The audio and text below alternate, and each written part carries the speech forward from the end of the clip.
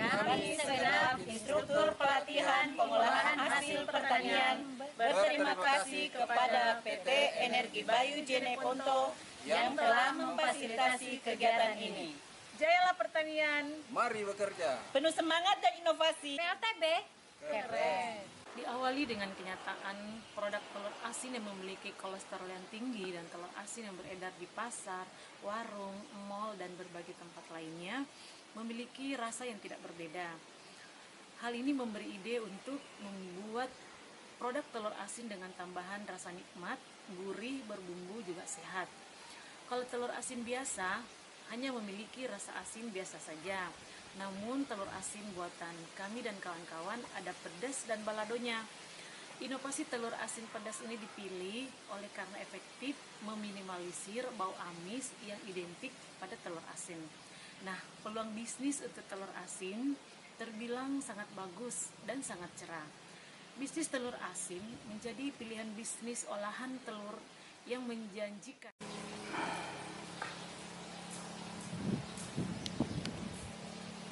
Assalamualaikum warahmatullahi wabarakatuh. Jumpa lagi dengan saya Yulianti SST dari Dinas Pertanian Kabupaten Jeneponto dalam episode Rayuan Pulau Kelapa.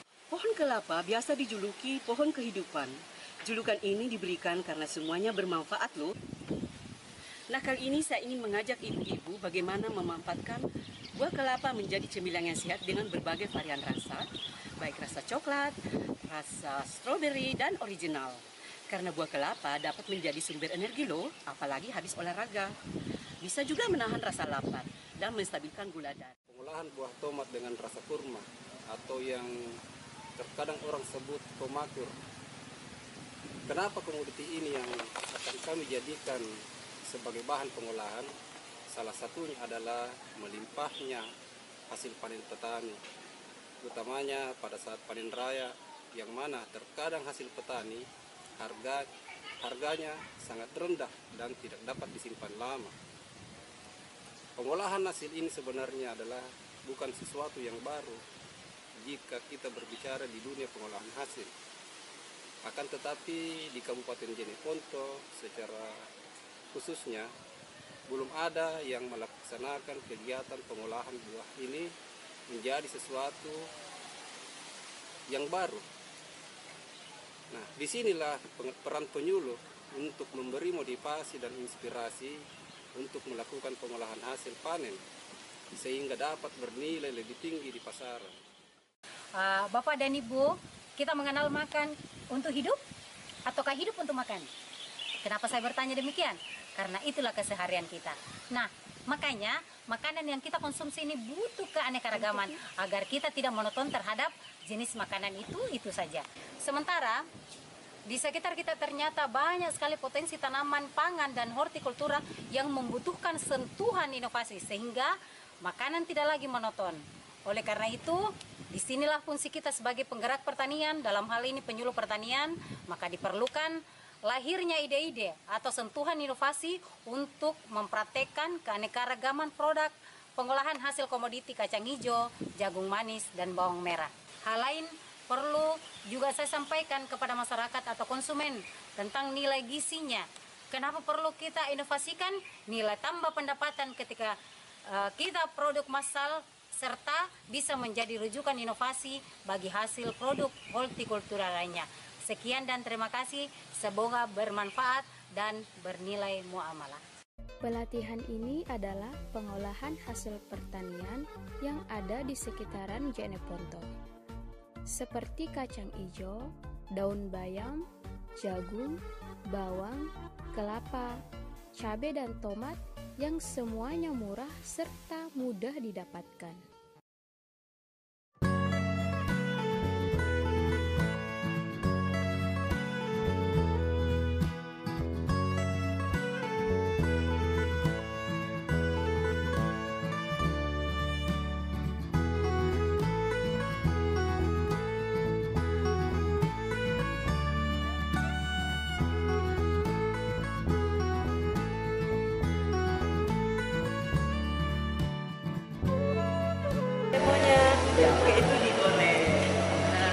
Ini bunting, ini bunting. Hah? Ini bunting. Ini telepon itu Tidak ada penting, ada terserah jeruk apa yang penting daun jeruk tapi kalau mau enak daun jeruk purut cuma kebetulan saya persiapkan itu daun jeruk purut kering di kulkas kan jadi saya tidak bawa saya pakai jeruk manis jeruk purut ya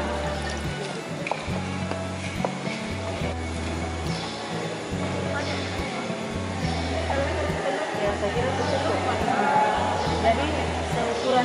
ini yang kita masak jalan deh yang bikin namanya kepada orang jangan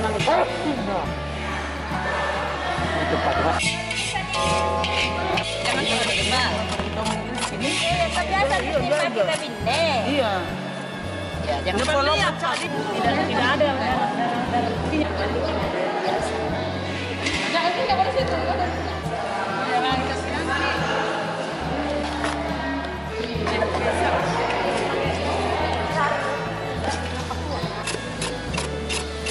Mana pada ke?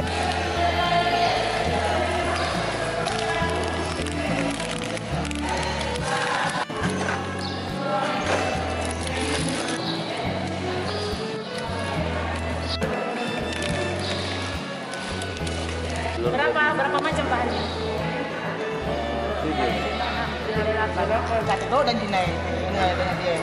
satu gelas munjuk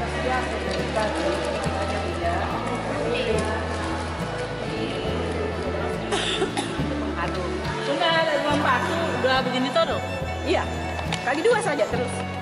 Oh, oh, ada kadang di satu. Satu. Ada lagi. Satu. kasih mencampur semua iya? Ya 80 sedikit Ini loh masako penyedap rasa. Oh male, gue sundo. Eh satu di masuknya kayak nanti nakaknya tambahin harus jaga Bu. telurnya langsung dikasih telur. Dikocok. oh dikocok. Kasih lagi tuh udah ditanya toh belum dikocok apa. Sebentar telur. biasa tuh Aduk dulu, kasih campur dulu tuh. kasih merah Bikin apa guys? Bikin anu guys, keripik kelapa. Apa apa bahannya guys? Eh, kelapa kelapa, kelapa tapioka, tepung beras, eh, santan, eh apa lagi tuh dan rembang? Eh, gula sedikit, garam, garam sedikit, air secukupnya, Oh, eh penili, sedikit juga. ya sedikit, serba sedikit serba sedikit, serba sedikit. Sesuai dengan selera guys. Mau manis, mau asin, terserah. Biasa balak dia kan pakai jangan lah. Kita guys, ini GP-nya anu besar guys. Bukan yang kayak di rumahku guys. dikerangkan saja Kerangkan itu guys. Berarti ini kalau digoreng ini lama ini kayaknya ini. Iya guys. Buka buka. satu satu satu satu sudah nih seperti Ini hasilnya guys. Kelapa kelapa. Apa itu guys? Kelapa. Oh, itu hasilnya guys. Iya guys. Nah, jadi kalau mau dicoba dicobain aja.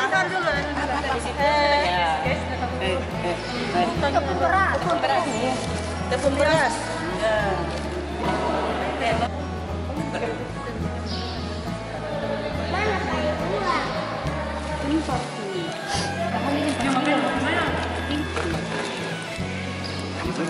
ya. Tadi nggak mau ditutupin bang. Tadi nggak mau ditutupin. kita Enggak, lebih apa? sekali beda Oke. Iya. Iya iya Oke. oke Mau mau ke sana situ ya? Iya. Eh, ambil kita. So, ambil, gambarnya tuh.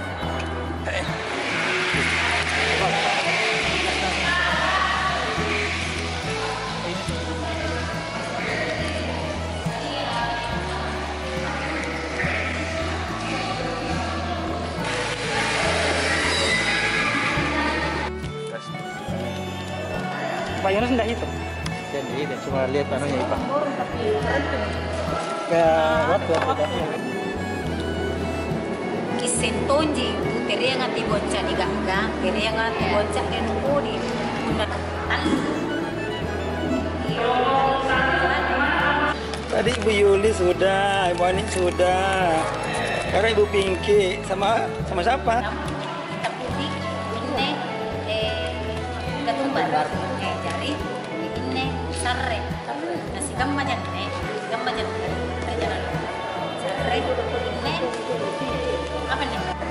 Anu abon ai ai kurma. kurma Kurma tomat. kurma tomat apa tomat manisan Tomat ini kurma apa kurma ini? manisan tomat Tomat. itu kurma yang kayak manisan nih Ini kurma sayang.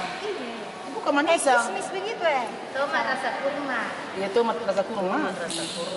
tahu mau Tanda kurma rasa kurma. Tomat. Sering aja pada. Boleh main kita ajar aja. Halo guys, nanti kalau ke rumah nanti disuguhin tomat rasa kurma. Ada rumah. kalau hasil kerja Kelompok. Partai. Boleh togi boleh dia. Lagi ini untuk nanti pernah lupa naik berarti pernah panas dengar ki kerja dengar ki kalau ki percikan itu turun begini belum piano belum eh, belum pi anu naik berarti belum pi panas.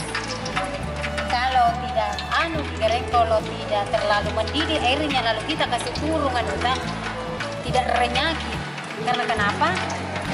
Itu tadi tinggal minyak ya masuk di pada saat minyaknya jadi tidak renyah seperti yang kita inginkan baru ini kan. Ini kelompok mana guys? Dua guys. Kenapa ke sini guys? Juga ilmunya guys. Oh. Oh lihat. sekarang karena ya coba Oh, ketika turun ini ketika turun ini eh, apalagi adonan tidak boleh tinggal tangan tak bilang sampai harus selalu digaru-garu oke Oke. harus selalu digaru-garu Garu. Itu masih mau panas minyak barangkali tidak. Tidak boleh terlalu panas minyaknya. Jadi eh, sebelum kita setelah mencampur ki itu kita anu ki apalagi Dan kuning moto. Guys, pulang guys, pulang pulang kelompok. Uh, guys, guys, guys. Guys, guys. Sudah kita tiriskan, Ya, rendam di air garam. biar garam. Cuma sebenarnya agak lama. Ini ini Pak Anu nih kayak Kapur siri. Di air garam, di air yang garam. tadi apa? Biar garam dulu. Ini ada garam ya. Garam. Ini anu air kapur sirih. Tapi ini kita ambil yang jernihnya saja. Oh, yang. Oh yes yes. Saya cobain coba itu ya.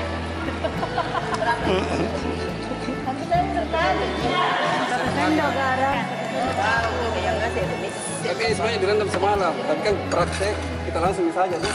Ya, ini jadinya yang rendaman. Oh, yang tadi kita makan yang tadi. Nah, anggaplah, anggaplah satu malam kita rendam. Pindah ke sini lagi. Ya ini ini dan rumah ke. Satu malam lagi, Pak. Pak. Eh, enggak, satu setengah jam. Setengah jam. Yang ini dia satu malam. Ini Sebenarnya ini ini eh, kalau kita mau semakin apa rasanya bilang tadi. Oh iya. Nah, dia semakin lama di air siri, kapur siri, Oh, bagus. kita rendam eh, kalau sudah sholat isya begitu di, Iya. ya kita rendam baru pagi, pagi baru di eh, Tiriskan. Direndam di air garam satu malam. garam satu malam. Tadi kapur si Satu setengah jam, ini satu setengah jam. Ini satu malam, satu malam. Bisa. Iya. Misalnya malam, Malam pagi sore. Iya. Malam. kita panaskan gula.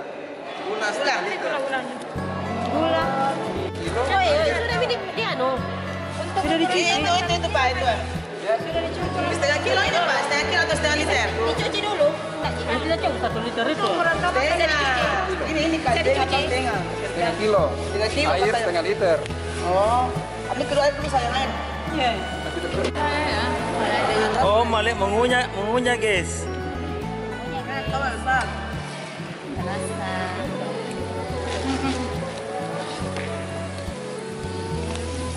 eh diperhatikan nih karena dia kalau dia sudah di atas begini berarti sudah matang nih tapi ingat Kip Kalau dia berwarna ini jauh lebih cantik seandainya ada warna kayak Warna, iya. kayak kunyit, kunyit alam.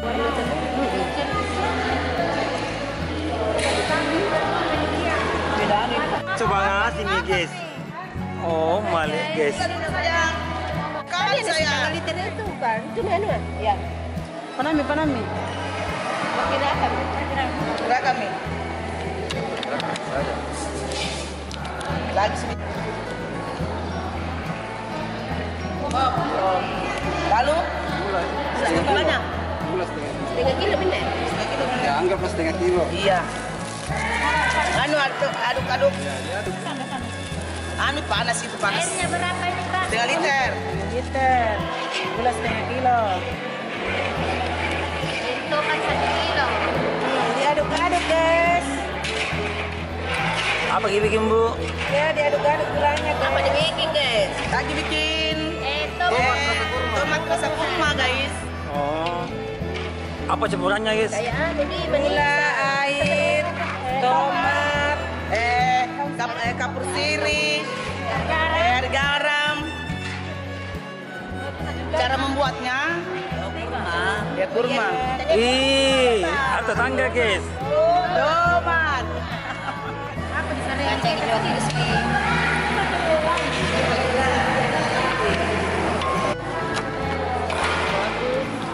Sebelumnya ini apa tadi? Sebelum ini di, direndam dulu air garam satu setengah jam.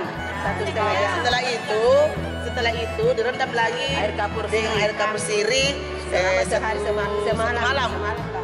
Setelah itu, eh, eh, setelah itu eh, di, di, di, dipanaskan gula sama air lalu eh diiris-iris toh diturunkan. diturunkan dulu turunkan Ba- baru diangkat Tomatnya ditiriskan dikeluarkan eh, bijinya. Yang diambil sudah bijinya. sudah nih, sayang. Tapi lupa dibilang, lupa dibilang. Iya ya. Harus. Keluar prosesnya. Dari awal, dari awal. Karena eh, Dari awal balik. Dari. Karena sudah cuma kulitnya yang dibutuhkan. Oh. Tomatnya dicuci sampai bersih, kemudian dikeluarkan eh, bijinya isi dalamnya. Eh, setelah itu diturunkan di air garam Oke. selama satu setengah jam. Sekarang aja di sekarang action. Terus semalaman di, di, eh, direndam lagi air gula, eh, kita kepal-kepalkan seperti ini, Di- dihilangkan airnya, terus dijemur. Kemudian dijemur. Eh, waktu penjemurannya itu eh, Sesuai dengan matahari. matahari sampai Matahari. Ah, ah, sampai tergantung dari matahari sampai kering. Sampai kayak seperti kurma. sampai ke merah-merahan. Kalau dikepal-kepal gitu. sampai ke merah-merahan. Setelah itu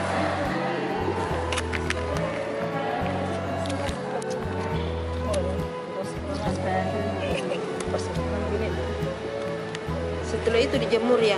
Iya, dijemur. Oh ya. Ikan merah.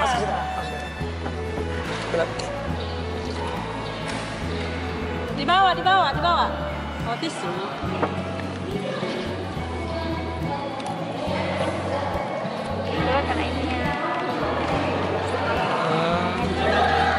Saya nak. itu naik.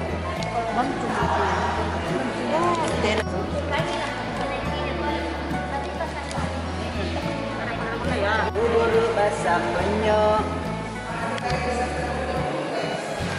Jadi tujuannya itu tadi anu Bu, eh apalagi eh uh, rose brand itu supaya tidak laku-laku nih. Hah? dikasih itu anu tuh Oke, Bu Rama, saya bantu aja dulu ya. Tolong dijelaskan dari awal ini. Awalnya gimana? Apa ini? jagung manis. Jagungnya dipepu dulu. dipepu dulu baru. Dimasak. Sampai dua kali mendidih. Kemudian ditumbuk bumbunya. Bumbunya itu bawang merah sama bawang putih. Kalau mau ada rasa lain kita bisa tambahin serai sama ketumbar sama merica. Kemudian setelah itu dimasukkan ke dalam jagung yang sudah dimasak dimasak tadi. Kemudian dikasih diaduk sampai merata bumbunya. Kemudian dikasih turun. Di adonan anunya. Adonan, adonan tepungnya. Eh, rose bread.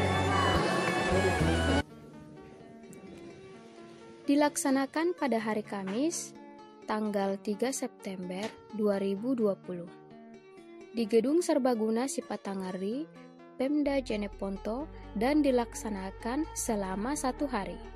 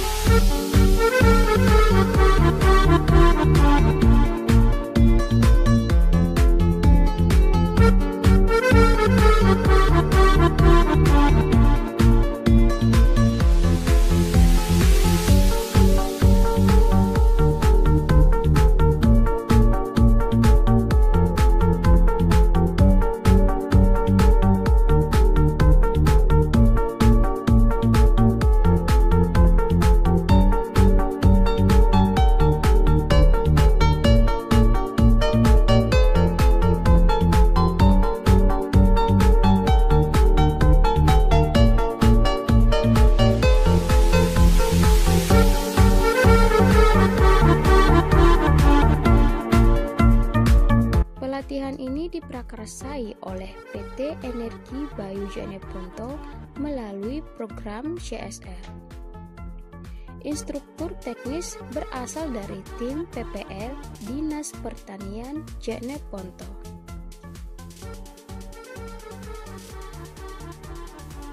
Selain materi cara mengolah hasil pertanian, juga diberikan materi teknik praktis membuat dan mendesain kemasan untuk produk sendiri yang menarik dan bernilai jual yang layak.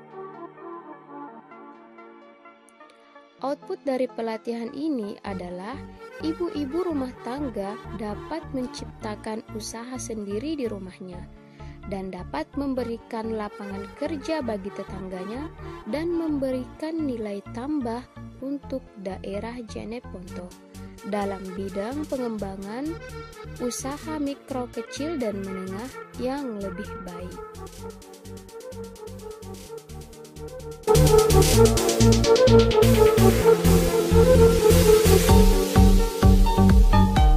BLTB